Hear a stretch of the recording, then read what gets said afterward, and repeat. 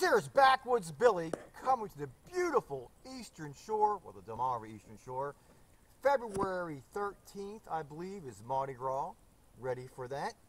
And as you can see, it's a beer haul, beer run, beer haul, beer run.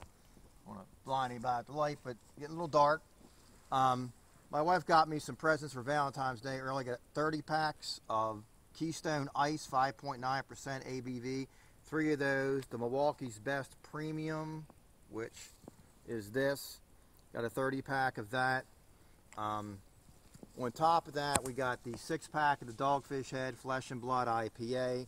My wife got four of the four packs of the Seagrams and then some individual um, tall, what do they call it, Bud Light Ritas.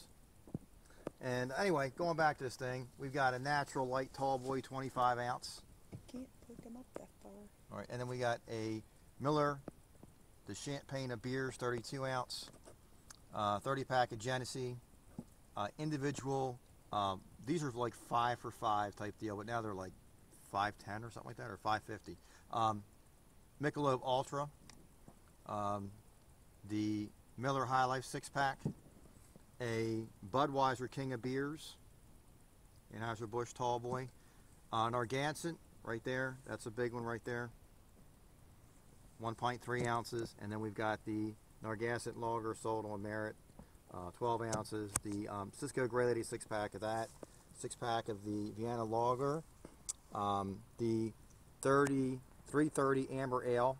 Can't keep bringing That's in, um, um, a local brewery in Maryland. Um, Vienna Lager is Virginia, not too far away. This is in Ron's area, um, which is New England. This is the Fin City back, uh, uh, uh, Blackfin India Pale Ale, which is uh, from Fin City Brewing, Ocean City, Maryland. This is from Evolution Craft Brewing in Salisbury, Maryland. Hops Lyman IPA. And this is from, um, what is it? Blue Earl Grey, I can think of it. Uh, Walking Blues IPA. Uh, these guys are all at the beer festivals a lot in the area. Evolution Craft Brewing Lucky 7 Porter. Evolution Craft Brewing Red Exile Ale. And um, these are outside the area. This is going to be the Victory Golden Monkey, which is their Belgian. And then a Hefeweizen from Magic Hat, Circus Boy. And then um, the Shock Top, I'm kind of upset they changed the, it used to be nice texture, the cans, but it's in the same thing, like 550 for five. And then the uh, Landshark Lager, um, Bud Light Platinum. Uh, we have over here, this is um, Natty Boh, Natty Boh, Natty Boh, Natty Boh. Right here, National Bohemian. And um, they changed it up with the Maryland flag here and here, which I'm not a big fan of. This is the new can that was, I got the last six pack of these. This is the um, Ravens thing. I think these were $7.99 a six pack, and these were $6.99 or five. I forget which.